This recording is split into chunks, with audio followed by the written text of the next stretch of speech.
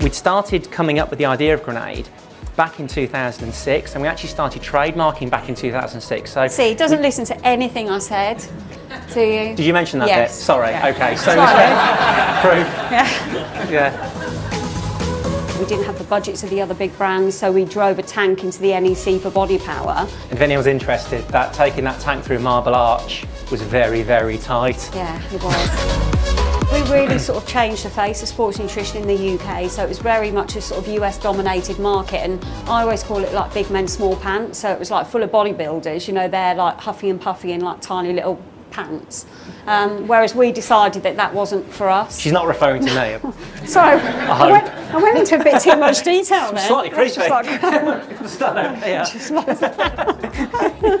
I couldn't really understand why we couldn't make a protein bar that just tasted like a chocolate bar. So we went through something like 40, 42 variants. I think it was a two year process. The other 41 versions we'd seen, I think frankly anyone else would have been happy with, but we weren't. And we actually then, we got, we got to this, this, this bar, the first one, the Caramel Chaos, um, 2015, and we tried it and we just knew. And we ordered 50,000 bars. We then had to tell our investors we were ordering 50,000 bars on the premise that if they didn't sell, we were going to buy them personally. And I thought I'll be eating protein bars for the next 20 years. So they took about a quarter and we got the rest. I think then we sold them about an hour.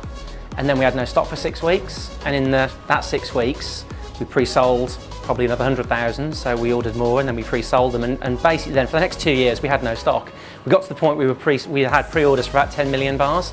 Um, and then been pretty horrible in terms of letting down all the big suppliers and trying to rotate stock round and, um, and so on. We did a piece of brand work last year which basically tried to encompass what Grenade was and we came up with the tagline you got this and basically it was a really really simple mission statement that it didn't matter what you wanted to achieve in your fitness or your life goals Grenade would help you to do that. And then just for some fun, uh, probably what a year ago we launched the spread, the carb killer spread. So we knew that Nutella was doing quite well, it was quite popular, and everyone was melting grenade carb killers and putting them on toast. So we thought we could actually maybe save them a job of putting them in the microwave and, and, and do a spread. And we look, we sold something like, and this is something again we just did to disrupt really, but 100,000 units in like a day.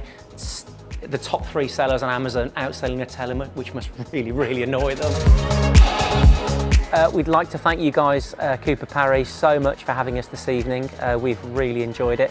As you can probably tell, we never get tired of talking about the brand.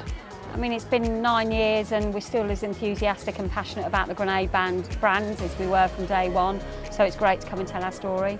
And, and we've told the story probably a thousand times and it's the same story we always tell it differently because we think about different things so uh, if you want us to come back and tell it entirely differently we're very happy but thanks again guys really appreciate it thank you.